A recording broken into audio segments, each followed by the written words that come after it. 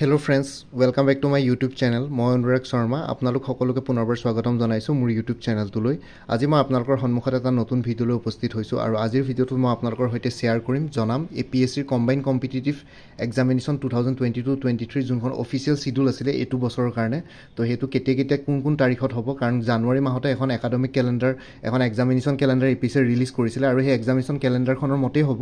এতিয়া কোনোবাই ক'ব পাৰে কমেণ্ট ছেকশ্যনত যে মই পুৰণা ডেটা শ্বেয়াৰ কৰি আছোঁ ইউটিউবৰ চেনেল ভিউৰ কাৰণে ঠিক আছে কিন্তু তেনেকুৱা কথাটো নহয় আপোনালোকৰ জনাটো উচিত যে এইটো বছৰৰ কাৰণে যোনটো কম্বাইন কম্পিটিটিভ এক্সামিনেশ্যন ষ্টাৰ্ট হৈছে কাৰণ প্ৰিলিমিনেৰী অলৰেডি চিডিউল টাইমত হৈ গ'ল twenty six March two thousand twenty three এতিয়া নেক্সট নে মেইনছ ভাই ভাই সেইখিনি আহি থাকিব। তো যোনখন এক্সামিনেশ্যন কেলেণ্ডাৰ দিছিলে তাৰ চিডিউলৰ মতে আপোনালোকক দেখাই আছোঁ।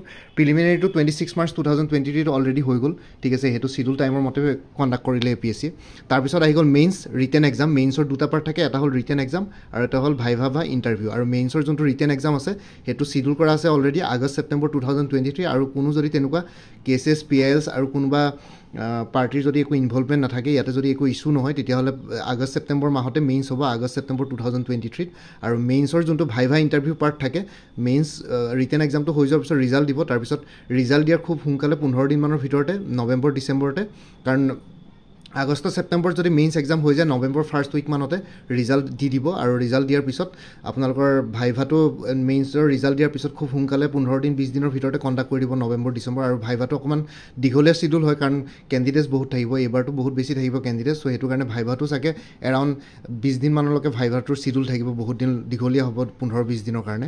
আৰু মেইনছ ভাইভাৰ তোৰ মেইনছৰ যোনটো ভাইভা ইণ্টাৰভিউ পাৰ্ট আছে সেইটো November December two thousand twenty three schedule কৰা আছে। তো নৱেম্বৰৰ লাষ্টৰ ফালৰ পৰা আৰম্ভ হৈ ডিচেম্বৰ ফাৰ্ষ্ট উইকত চেছ হৈ যাব আৰু viva chess where around three to five ডেইজৰ ভিতৰতে ৰিজাল্ট আউট হ'ব। এইবাৰ যিহেতু কেছ চেছ কিছু কিছুমান ফাইল কৰা হ'ল তো সেইটো কাৰণে দেৰি হৈছিলে কিন্তু এনেই জেনেৰেলি তিনিদিনৰ ভিতৰতে ৰিজাল্ট ৰেডি হৈ যায় ভাইভাৰ পিছত।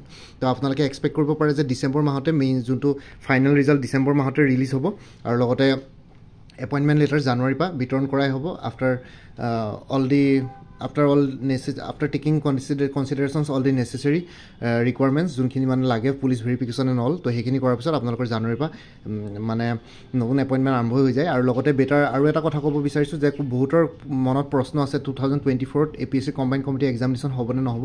তো একৰ্ডিং টু আছাম গভৰ্ণমেণ্ট ঠিক আছে আছাম লেজিছলেটিভ এছেম্বলিয়ে এটা ডিচিশ্যন লৈছিলে মানে আছাম কেবিনেটখনে এটা ডিচিশ্যন লৈছিলে ডক্টৰ হিমন্ত বিশ্ব শৰ্মাৰ নেতৃত্বত। তো তেতিয়া সেই ডিচিশ্যনটো কৈছিল যে এ পি এছ চি লাগিলে যিমানে কম পষ্ট নোলাওক কিয় গ্ৰেড ওৱান গ্ৰেড টু ছাৰ্ভিচৰ কাৰণে মানে গ্ৰুপ এ গ্ৰুপ বি ছাৰ্ভিচৰ কাৰণে ক্লাছ ওৱান ক্লাছ টু তো সেইটো প্ৰত্যেক বছৰে কম্বাইন কমিটি এক্সামিনেশ্যন কণ্ডাক্ট কৰা হ'ব। এতিয়া এইবাৰ যিহেতু নশ তেৰটা পষ্ট ওলালে তো নেক্সট ইয়েৰত মে বি পষ্ট কম ওলাব পাৰে কিন্তু তথাপিতো প্ৰত্যেক বছৰে এতিয়াৰ পৰা কণ্ডাক্ট কৰিব হ'ব। যেনেকৈ U P S C conduct কৰে তো তেনেকৈ এ পি এছ চিও প্ৰত্যেক বছৰে কণ্ডাক্ট কৰিব। তো আপোনালোকে ডিচেম্বৰ মাহতে নতুন নটিফিকেশ্যন বা জানুৱাৰী মাহতে নতুন নটিফিকেশ্যনৰ এক্সপেক্ট কৰিব পাৰে আৰু ঠিক তেনেদৰে অহা বছৰো মাৰ্চ মাহতে প্ৰিলিমিনেৰী এক্সামিনেশ্যন ষ্টাৰ্ট হৈ যাব।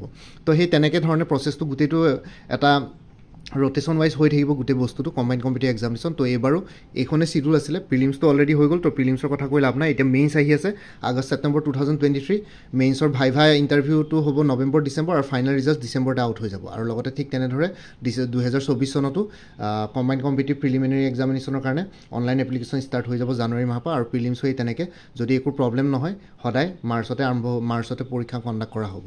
তো ইমানে আছিলে মই জাষ্ট এইখিনি আপোনালোকক ইনফৰ্মেশ্যন দিবৰ কাৰণে ভিডিঅ'টো বনালোঁ আৰু A P C combined committee এক্সামিনেশ্যনৰ অন্য ৰিলেটেড ভিডিঅ'ছবোৰ ভিউ কৰিবৰ কাৰণে এই ভিডিঅ'টোৰ ডেছক্ৰিপশ্যনতে সকলো ধৰণৰ ইম্পৰ্টেণ্ট লিংকসমূহ দিয়া আছে আপোনালোকে তাতে গৈ ভিউ কৰি চাব পাৰিব। লগতে মোৰ আৰু এটা চেনেল আছে অসম আইকিউ বুলি সেই চেনেলটো ছাবস্ক্ৰাইব কৰি ল'ব পাৰিব। সেই চেনেলটোৰ লিংকটো এই ভিডিঅ'টোৰ ডেছক্ৰিপশ্যনতে প্ৰভাইড কৰিছোঁ।